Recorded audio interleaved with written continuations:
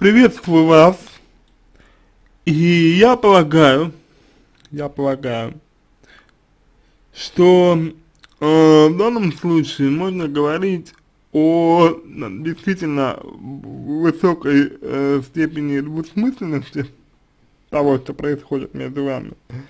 Но вместе с тем, вместе с тем, по моему глубокому убеждению, э, данная двусмысленность, она э, идет как бы мужчине на руку, в том смысле, что он э, специально э, поддерживает эту двусмысленность, потому что э, ему, возможно, как-то страшно э, с вами сближаться, ему, возможно, как-то страшно, ну, как-то страшно ему, там, к примеру,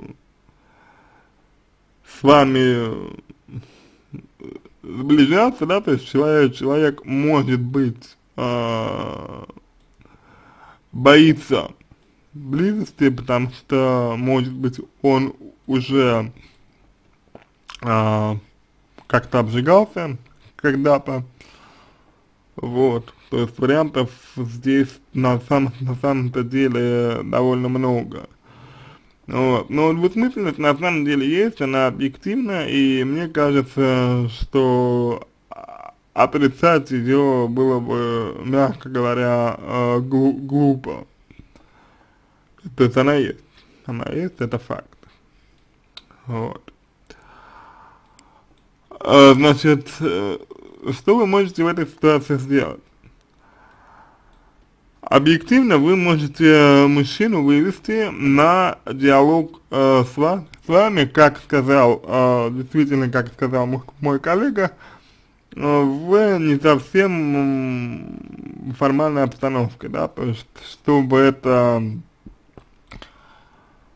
э, чтобы эта обстановка, она, чтобы была, ну, неформальной, не да, чтобы у него была возможность как-то себя проявить, ну, иначе, как-то себя проявить по-другому, гру гру грубо говоря. Вот. И именно в этом контексте вы сможете, смогли бы для себя э, понять и решить, э, как он к вам относится, как он вас видит, как он вас э, ну, воспринимает, да, и так далее, соответственно. То есть для вас это было бы, ну, довольно хорошим, довольно хорошей возможностью, а, значит, ну, соответственно, а, понять, его намерения, понять, что ему нужно, понять, чего он э, хочет и так далее. Вот. А для вас это было бы идеальной возможностью. Соответственно, если э, человек э, значит, ну, не воспользуется этим шансом, да, то есть если муж, мужчина по-прежнему, к примеру, э, не будет себя никак проявлять, вот, то в этом случае можно говорить о том, что вы ему либо неинтересны, неинтересны, либо он, ну, не хочет э, сближаться на условиях, которые вот э, выгодны вам, да, и, соответственно, не выгодны ему, ему. Вот, это просто, просто-напросто, по сути, его э, выбор. Вот. Э, в остальном, в остальном, ну, если у вас э, такой возможности нет, да, то э, вы можете только вот тратить время на такие вот истории, тратить время на такие вот моменты и сколько это продлится, ну, честно сказать, э, нельзя, потому что это может продлиться очень долго, и ведь, э, ну, как бы, человеку-то это выгодно. Вот, человек-то как бы все устраивает, да, вы, вы же понимаете, наверное, это. И тут вот, как бы, конечно, история-то не совсем такая, э, ну, прямо скажем, приятная, да, вот. Так что, так что вот, в принципе, так, я думаю, можно вам ответить на ваш вопрос, который, который вы задаете. На этом все. Если у вас остались э, дополнительные вопросы, вы можете задать мне их э, в личку, э, я буду рад вам помочь. Э, если вам понравился мой ответ, вы можете сделать его лучшим. А, я буду вам за это очень благодарен. Вот, в целом мне бы хотелось отметить, что вы себя ставите в такое достаточно неопределенное положение, которое, в общем-то, по-видимому, опосредованно вашей неуверенностью в себе и повышенной э, мотивацией э, вступить в отношения, потому что по, по факту, если вот подумать, то как, кого вы любите? То есть вот вы говорите, что я влюбляюсь, да, вы говорите, что я влюбляюсь, а в кого вы влюбляетесь?